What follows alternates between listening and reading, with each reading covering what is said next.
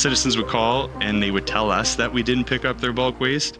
We couldn't tell them why, and it was a mark against our waste staff.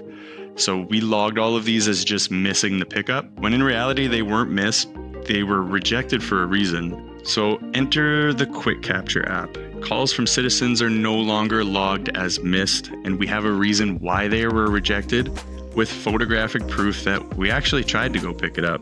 You just kind of didn't give us the right conditions to pick up your items. These were known as discrepancies, and they were 120 to 150 a month total. So when they're fielding a call or an email, they can use this dashboard to zoom in, find a location, and actually see a picture of what happened in the field, why we didn't pick it up. It's really quick and we, we get that information to the user on the spot. Here's what we achieved. During that one month pilot program, we lowered the discrepancies to just three. That's an improvement of 98%.